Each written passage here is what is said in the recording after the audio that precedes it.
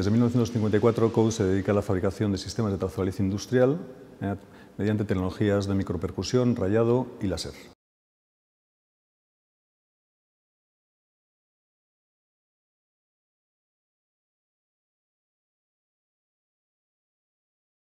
E2M es una compañía que es especialista en sistemas de visión artificial inteligentes. Eh, la convergencia estratégica para la compra de, Code, E2M Code por parte de Code es eh, que nos llevan directamente a la filosofía Industria 4.0. ¿Por qué? Pues básicamente porque en ese contexto de utilizar y combinar sistemas de trazabilidad con sistemas de visión artificial, lo que nos permite es eh, poder ayudar a nuestros usuarios a reducir los costes de no calidad en los procesos productivos. En definitiva, a mejorar la eficiencia de sus procesos.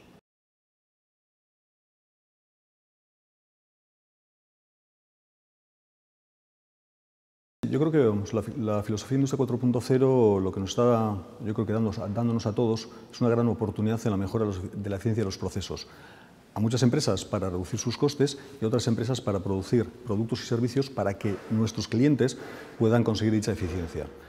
Yo creo que en un contexto en el cual los recursos limitados pues, están en el foco digamos, de, la crisis que estamos viviendo, creo que eh, dicha filosofía de mejorar la eficiencia es una oportunidad, como decía, y nos lleva a un siguiente estado para nosotros. ¿Cómo lo vamos a conseguir? a través, del uso de la inteligencia artificial. ¿eh? Establecimiento de sistemas de modelos predictivos que nos permitan establecer relación. ¿Por qué hay rechazos? ¿Por qué hay costes de no calidad ¿eh? con los sistemas de visión que 2M Code tiene? Y la pregunta es, ¿dónde se originan esos problemas? Entonces, estableciendo una correlación entre causa-efecto, se puede establecer unos modelos predictivos para que los costes de no calidad de, de, las líneas de producción de nuestros clientes se reduzcan de forma sistemática de forma permanente, lo cual es un ahorro y una generación de valor importante.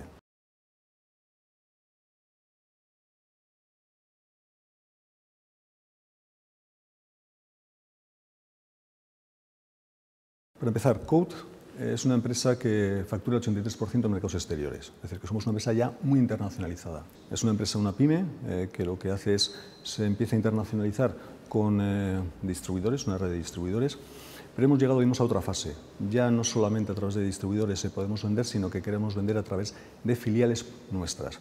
Ya estamos en China, estamos en México, estamos en Alemania y eh, en breves eh, semanas, de hecho un par de semanas, abrimos eh, Code Italia.